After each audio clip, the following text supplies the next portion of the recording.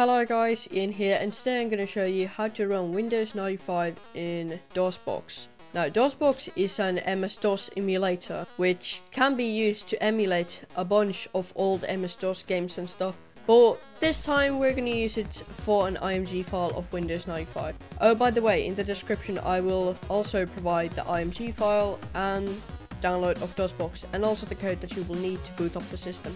Well that said, let's get right started. Here we have DOSBox 0.74 and here we have the Windows 95 IMG file.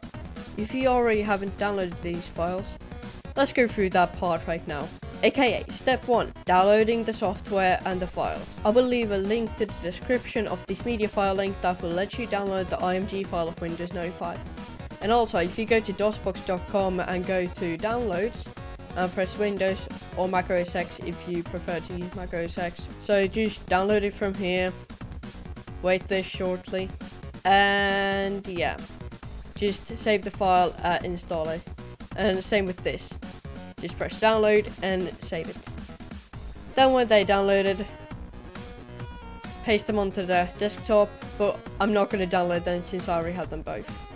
Step 2. Making a virtual hard disk for MS-DOS. Now, the next step is what we're going to do, is we're going to go to our folders, and yeah, then we're going to go to our main SSD, go over here, and make a new folder, which we in this situation are going to call 95.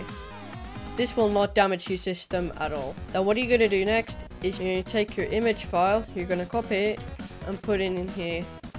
There we go good.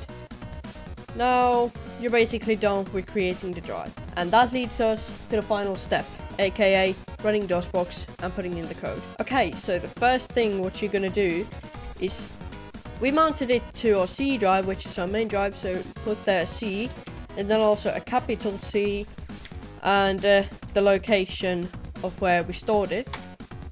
And now the drive C is mounted as the local directory. That means it will search around there for the IMG file.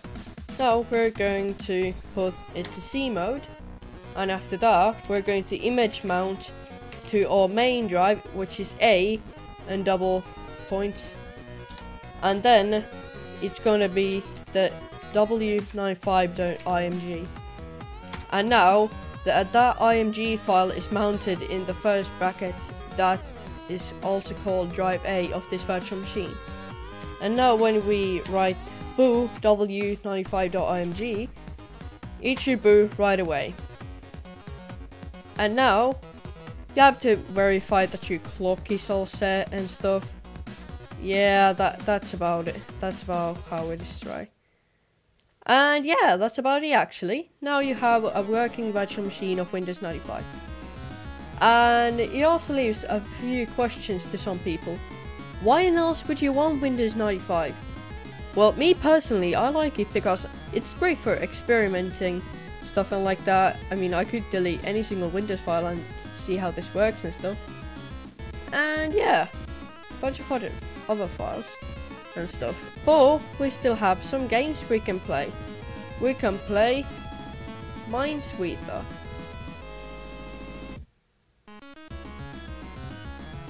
Well, that about it wraps for this video. Thank you guys for watching this video. Leave a like if you enjoyed. Subscribe to this channel if you already haven't to join the Diamond team. Comment something if you want to. And please share this video to your friend who is also into technology videos or stuff like this. Anything to that. See you guys in the next video. Bye!